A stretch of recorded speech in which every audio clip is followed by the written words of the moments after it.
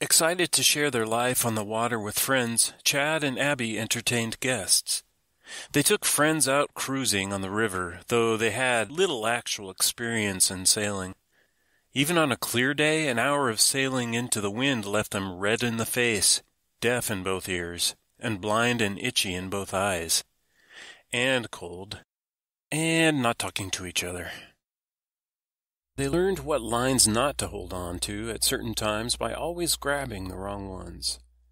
The wind ripped lines from their hands, leaving them rope burnt and bleeding.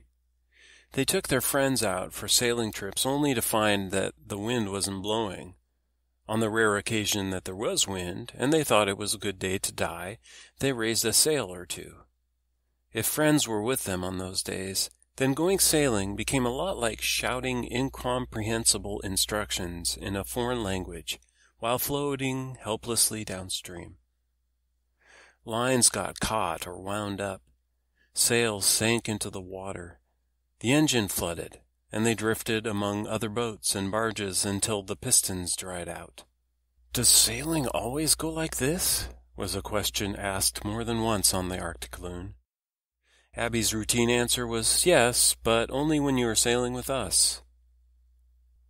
After a few months, Chad and Abby were alone with each other, having run out of friends with whom to share their increasingly dubious adventure.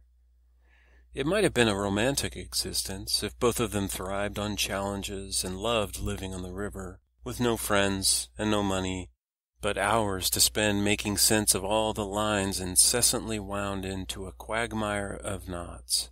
Not to mention the hundred other things wrong with the boat, and the challenge of sleeping with all the violent rocking and jostling and banging of hundreds of lines against hundreds of masts outside the main cabin.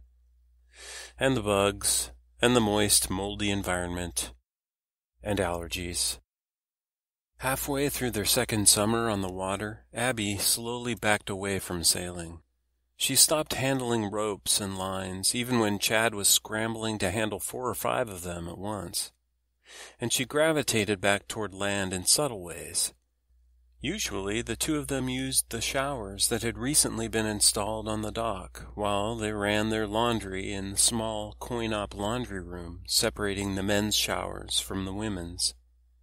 The showers were only fifty or so steps away from the boat.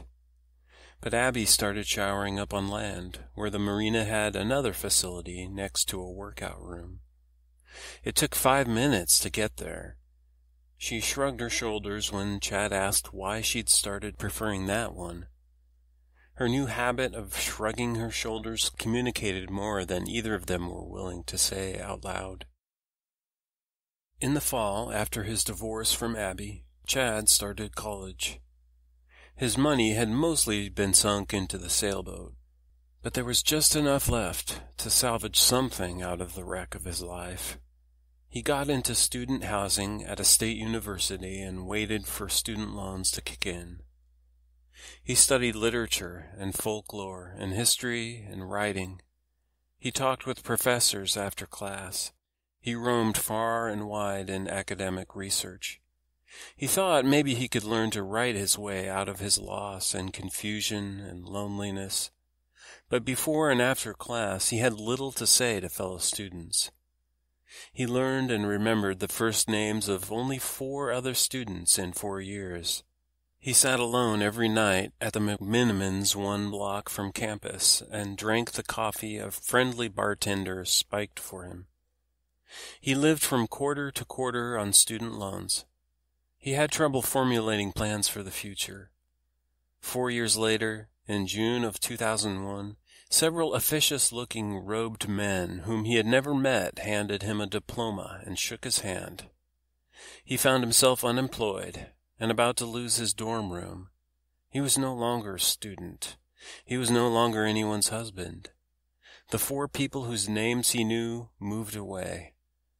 He found Portland area docks to sit on, sometimes fishing, sometimes taking on odd jobs, like washing and waxing boats, cleaning storage closets at marinas, or rewiring the lights at the top of someone's mast.